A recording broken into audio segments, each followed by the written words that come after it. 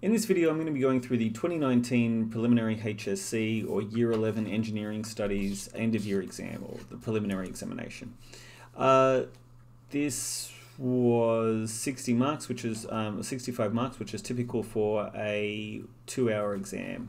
Um, there are plenty of students who do finish this in less time, so keep that in mind. Um, Okay, so I'm just going to go through these really quickly. I'm only going to go for the answers. It's possible I'm going to get things wrong because even though I wrote this test, um, sometimes I just I read things quickly and I make mistakes. So, um, concrete is made of cement and aggregates, D, uh, which results in elongated grains, work hardening. Identify the product most likely to be forged, uh, spanners. Which is most correct? Um, AC is more efficient than DC. It's only most correct, it's not entirely correct. Um, but nobody cares about, you know, technically correct is the best kind of correct. Um, AC is mostly the, is the most correct. Uh, and you notice that I even wrote that in here. Brass is an example of which of the following. Brass is a substitutional alloy. That's relatively tough. Okay, the properties of some stainless steels can be altered using the following procedure. That is precipitation hardening. Uh, there's a video, it's one of my earliest videos. Which is the typical crystal structure of titanium? Oh, that's a hard question, but I did definitely make it true for homework, which was um, hexagonal close packed. That's a hard question. Um, You'll notice this is in red because I had a duplicate question and that was a reminder for me to change it when I next use this. I, you know, uh, often I modify questions when I do new things. Um, what is the forming process used in the diagram below? That is rolling. Um, in year 12, you'll be expected to tell the difference between hot and cold rolling, but for the moment, rolling is the answer. Um, which of the following is a third order lever? I don't like this question, even though I've used this in both the 2018 and 2019 question uh, just because it's more recall than applied knowledge. Um, but the third order lever is where the effort is closer to the fulcrum. This is a second order lever where the load, the load of number two, is near the wheel of the wheelbarrow. Uh, seesaws are first order levers. Seesaws can be, or first order levers can have a mechanical advantage above or below one. Um, second order levers always have a mechanical advantage greater than one. Uh, third order levers always are less than one. And that's a much better question because that's an applied knowledge thing. Which of the statement best describes tungsten um, inert gas or TIG welding? So we have um, the arc melts the filler rod, which is surrounded in inert gas. Uh, the other ones all refer to different kinds of things. You should be able to figure that out if you look at my notes. Um, which is the term that describes the flow of electric charge? That's current. Uh, which is the best indicator of the toughness of material in a stress strain diagram? The area under the curve, uh, total area under the curve. Why are gears of small devices powder formed? That is because it reduces uh, machining. Um, what is the stress of force divided by 10 mil diameter of 10 millimeters? Okay, so 10 um, millimeter diameter is 25 pi.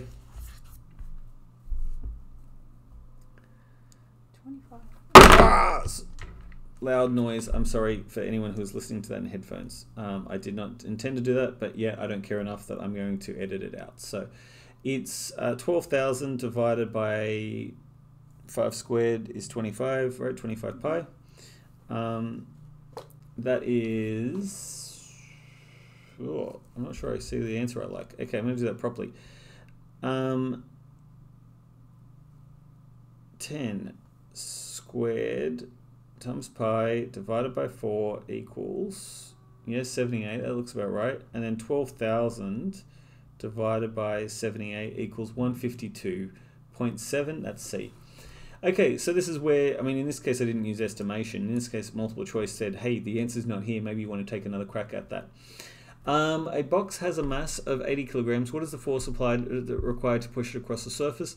Okay, so unless stated otherwise, we always assume that the um, it's on a horizontal surface, and that in that case, the new um, the normal or the, the perpendicular force will be equal to the mass. Uh, sorry, equal to the weight, which is mass times gravity.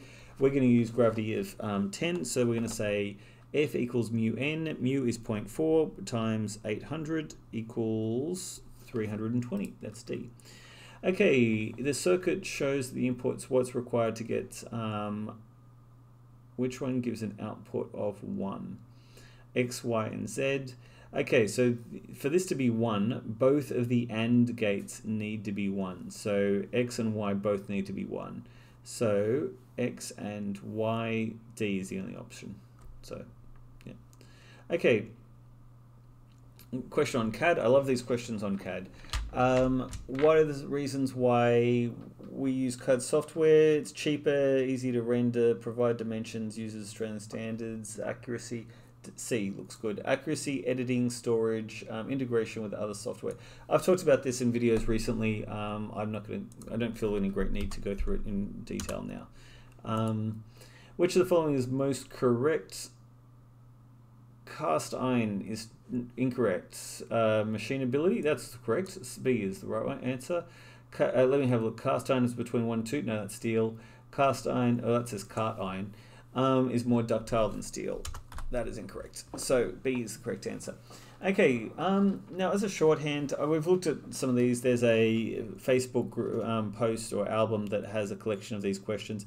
Whenever you see two resistors in parallel that have the same resistance, you can just halve them. If you have three, you can just divide them by three. But we'll go through it properly. Um, in the formula sheet, it would say 1 over RT equals 1 over R1 plus 1 over R2. Am I going to show you that? Do I care enough? Probably not. Um, no, I've decided I don't care enough. Um, so what we got is 1 over 100 plus 1 over 100 is 2 over 100, right? Um, if we flip that, we get 100 over 2. 100 over 2 is 50. 50 plus 100 equals 150 D. Okay, moving along. Um, what is an ethical consideration relating to biomedical um, engineering? The go-to answer is animal testing, though a lot of people talk about cochlear implants. It says outline. Um, you can talk about, well, you know, sentient creatures feel pain. Um, you know, there are a lot of people opposed to that. Um, though at the same time, if we don't test on animals, we have to test on humans. Humans are probably capable of feeling experiencing greater pain. That would be the that's the sort of direction you're going with. There's lots of other ones. Um, the cochlear implant is often uh, uh, the, the one that I see probably most commonly. Explain why designing engineering projects to uh, minimize environmental impact. Okay, so the idea here is we want to reduce, reuse, recycle. Reducing the design, um, reducing the materials in the design process is the more is more efficient because um, recycling still produces a fair amount or requires electricity. electricity reduce, uses non-renewable resources that produce carbon dioxide um, that's a bad thing. Also, recycling generally is never going to. Uh, uh, uh, recycling metal is pretty good. Recycling um, asphalt is pretty good, but um, recyc- recycling plastic not ideal. Also, there's a lot of stuff that doesn't ever make it to the recycling plant. Only ten percent of re- um, plastic has ever been recycled. Um, but then there's downcycling. That's plenty for three marks. Uh, evaluate the impacts of brake-by-wire systems. So describe and evaluate. So brake-by-wire is when we use, um, we instead of using pneumatic or um, hydraulic brake systems or mechanical brake systems, instead we use a um, computer circuitry so that when you press the brake pedal, it activates um, control system that sends an electrical signal to servos and actuators to apply the brakes this is more uh, reliable because it's less less prone to failure, especially that you can have multiple redundancies. Um, it has lower weight, which doesn't really matter for brakes, but it matters a lot when we talk about fly-by-wire next year in year 12. Um, and what is the other aspect that we could... Um, it's more effective. Like we can apply much greater force than we could with, um, say, hydraulic brake systems. Okay, sketch and label microstructure of 0.83% um, carbon steel. So you divide it up in a couple of sections and then you draw a parallel lines in different directions for each grain to represent 100% pearlite. You need to label it. If you don't write a draw an arrow and says pearlite, then you don't get a mark. Um, ooh. Okay, so the diagram I can see here, that's a hyper-eutectoid. So it's it's got too much carbon in it. That X that you can see there, that means that's cementite. No, that only happens when you're greater than 0.83%. Um, at 0.83, it should be all pearlite. Yep. Um, okay, so if you're not sure about that, look at my I have my one of my oldest videos on ferrous metals. I think you were looking at steels, um, steel alloys maybe. Um, it will have, yeah, it'll do. Um, it will have all of those sorts of microstructures. So in the textbook as well. Uh, gears of a vehicle have been hardened and tempered. Uh, describe the resulting grain structure resulting in a label diagram. Oh, okay. So when you draw martensite, you just draw a whole bunch of sticks. Um, acicular martensite. If you look at the picture of Cora, you can actually see what a photograph looks like. But as far as I'm concerned, if you just draw a whole bunch of lines, you know, if imagine if you were drawing, say, an echidna or a porcupine or a hedgehog, one of those sorts of things. Um, I mean, it's not right. Uh, if you look at the picture of Cora in the background, you can actually see a photograph of acicular martensite, or you can look at.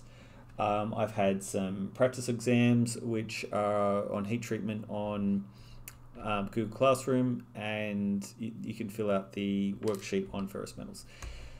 Um, anyway, let's describe the process. What you need to do is you need to heat to 100% austenite, which you could write a couple of ways. You could say heat to red hot, heat to 100% gamma steel. Um, there are different ways. Austenite, you have to spell it. It's 10 out of 10 on austenite. It's got T-E-N because austenite, he's a 10 out of 10 in the looks department. Um, heat to red hot because austenite, he's so hot um, doesn't exist at room temperature. Anyway, once you heat to 100% austenite, you then cool rapidly by quenching in oil. This produces um, martensite. Uh, in, to temper, you then heat again to a lower temperature, and this is redu this reduces the stress in the martensite crystals. When we draw tempered martensite, it still looks pretty much the same. Um, remember, make sure that again you have to label it, so that means just drawing an arrow that says martensite. You could, if you wanted to, you could write needle-like or a acicular martensite, even better. Um, I don't think anyone's ever going to take a mark off and not writing that. It's a shame that I don't have answers here, but um, yeah, I'm not, I'm not using a whiteboard, so we're just trying to go through this quickly. Describe the process of lost wax um, or investment casting.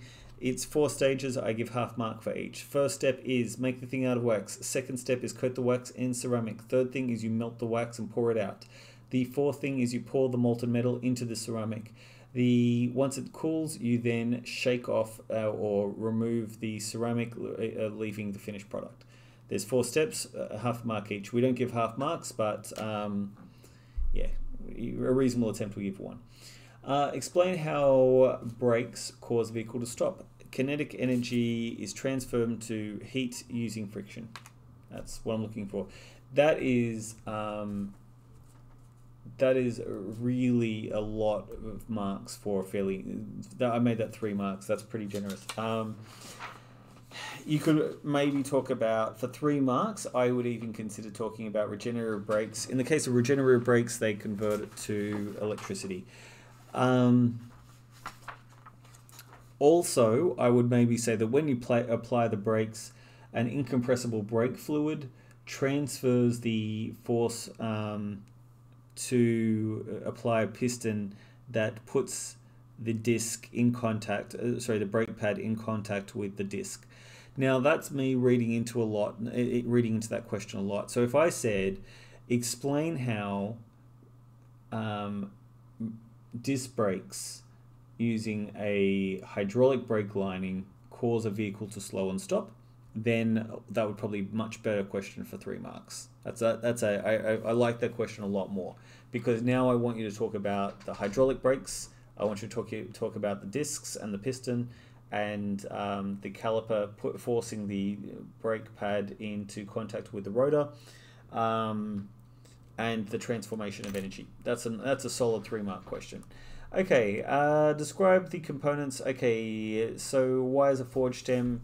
This is a pretty common question in year 11 preliminary exams.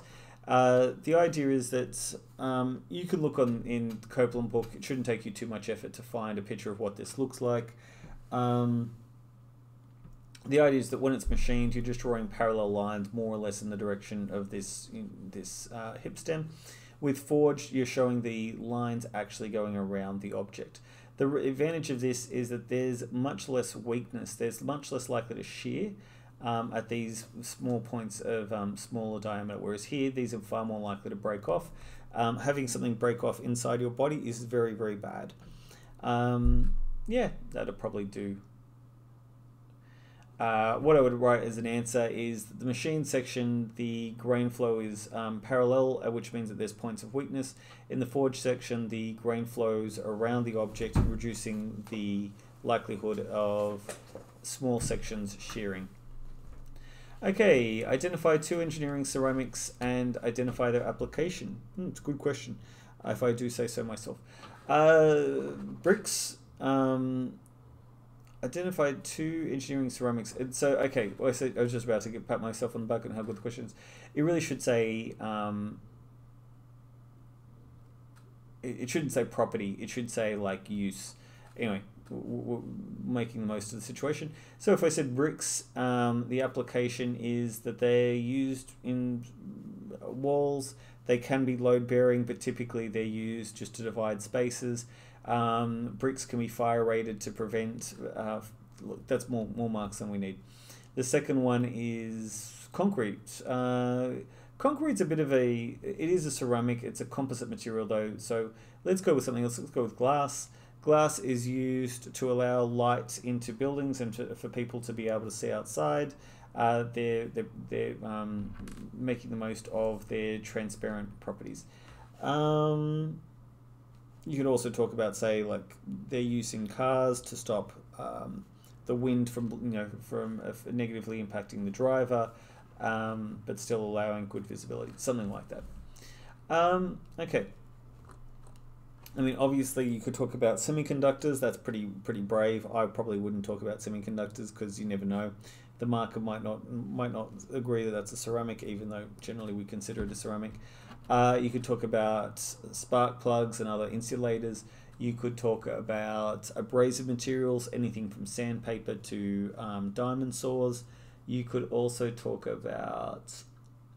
I did say I probably wouldn't write down concrete because that's a composite material, but you, I would give that as correct.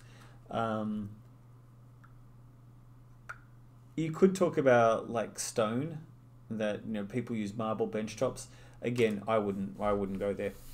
Okay, um, a copper wire is 600 millimeters in length. It has a cross-sectional area of 0.5 millimeters. Young's modulus for copper is 111 gigapascals. Calculate the extension of the wire if it has a tensile load of 300 millimeters, 300 newtons. Okay, so the formula is E equals Fleet. If you don't know what I mean, um, I have videos on this. Um, but, and I think it's actually listed as E equals fleas, like usually the name of the, the video. But the idea is that the Young's modulus of elasticity, capital E, is represented as stress over strain. Stress is force over area divided by um, strain, which is extension over length. When you um, divide two fractions, what you end up doing is you multiply them and invert them. So what you get is capital F times capital L divided by lowercase e times capital A and obviously the, the bottom half you have to put in brackets if you're typing into say Excel. What that means is that you can actually rearrange the two e's so that you can swap the little e and the big E. So that you can say that extension is equal to brackets um, force times length divided by brackets Young's modulus times area. So that's what we're going to do. Now you have to convert your units. I like to use grease units. We go together like megapascals and millimeters squared. So we need to have everything be in millimeters and megapascals. Um, we have gigapascals, so gigapascal is a thousand megapascals. So we've got force. Force is in newtons. That's great. Good. We always use newtons times force times 600 millimeters. Yep, that's okay. We're happy with millimeters divided by brackets. Um, e, which is calculate the extension. Okay, so we're using capital E, which is 111 times 1,000 times 0.5, close brackets, gives me an answer of 32. You get that? 32 millimeters. Uh, for the same conditions, calculate the strain in the wire. Oh, okay. So interesting that I've done that, that I've asked you to calculate the extension and then the strain.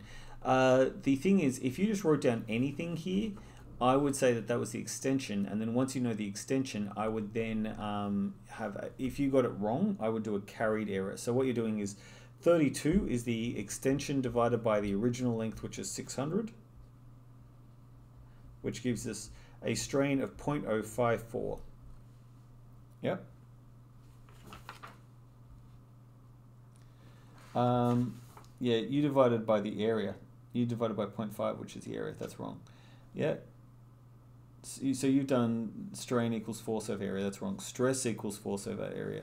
Strain, which is a different symbol, which is epsilon, equals extension over length. Also written in uh, uni, you'll write it as delta L divided by L0. Um, we use strain is equal to E over, so uh, I'll go to the formula sheet. There is a formula sheet at the end. Um, so Young's modulus equals stress over strain. Strain is equal to extension over length, right? So it's epsilon equals, so at uni you'll write delta L over L0. Um, and I do find that that is actually helpful to think of it that way. The problem is if you use those letters, you don't get E equals fully. All good? Mm -hmm. Okay. Um, and we're back. Okay, Pascal's principle. So they've given us the areas, right? It's really important that because they've given us the areas, um, I have a tendency to always think in diameters. If it's diameters, you need to take the diameter ratio and then square it to get the area ratio. They've already given us the area ratio. The area ratio is um, y is 5 times bigger than x. So that means that the force at y is going to be 5 times bigger than the force at x. If they told us that it's 800 newtons being applied at x, we're going to get 5 times as much. So 800 times 5 is 4,000. Yep, boom. Okay, um, now, this question, a fully efficient lever pivoting at A has a force of 40 newtons at 45 degrees. Calculate the force to maintain equilibrium. Okay, there's a couple of ways that you can do this. The I always like perpendicular distance, but almost nobody does that. What they do instead is they break this force into two components.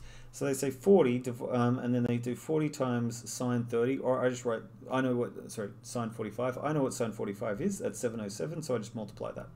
So what we get is 28 um, newtons going down and 28 newtons going to the 48 newtons going down and 48 newtons going to the left. What that means is that the one going to the left we can ignore because it's in line with A, so there's no perpendicular distance.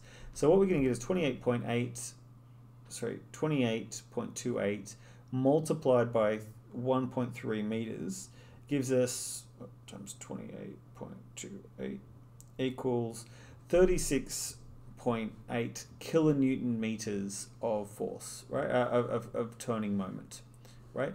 Kilonewton meters of turning moment. If we have that many kilonewton meters of turning moment going anti-clockwise, well, we're going to need to have some amount of force going clockwise, a, a moment force going clockwise to balance that. If we know that it's 36 kilonewtons um, of turning force or turning moment, then in that case, if it's 36 kilonewton meters and we divide by 0.6 meters, we're going to have 61 um, Newton, kilonewtons of force is required to maintain equilibrium. Okay, um, another less efficient lever is shown below. Calculate the efficiency of the system. Okay, so I like this question. It's a good question. Um, so this is a third order lever, which means that we are going to have a mechanical advantage of less than, uh, okay, so in this example, it's worth saying that whenever we have something like mechanical advantage or velocity ratios or anything like that, if they don't say, we just assume 100%, right? And so here we said it's a fully efficient lever, right? Uh, it's 100% efficient. Here, what they're doing is they're um, asking for um, efficiency. Efficiency is equal to mechanical advantage over velocity ratio. So what we'll start with is what's the mechanical advantage? So what they're saying is that 40 newtons of effort is required to lift 10 newtons. That means that's a bad mechanical advantage, right? So that's um, a mechanical advantage of 1 divided by 4 or 0 0.25, right? So we have to put in more effort than we're actually getting out, where our effort is 40 kilonewtons. Now, what is our velocity ratio? Well, we always have to measure from the force to the pivot. So we're going to get a 600 divided by 1300 gives us um, 0.46. Now, if we take that... 19? Sorry, thank you. Excellent. That would have been embarrassing. No one wants to be wrong on the internet. 6 divided by 19, 600 divided by 1900 because we measure 19, 13, 13 plus 600 um, equals 1900. So thank you. That would have been embarrassing. And yeah, okay. Anyway, um, so if we said that a mechanical advantage was 0.25, if we take 0.25 divided by 0.31, we're going to get an efficiency of 79.16%. Uh, if you wrote 80%, I'd give that as correct. Um, so, just to go through the formula sheet, I'll just quickly show you. So, mechanical advantage is written here. Mechanical advantage equals load over effort. Velocity ratio is the distance traveled by the effort divided by the distance traveled by the load. Efficiency is equal to mechanical advantage divided by velocity ratio.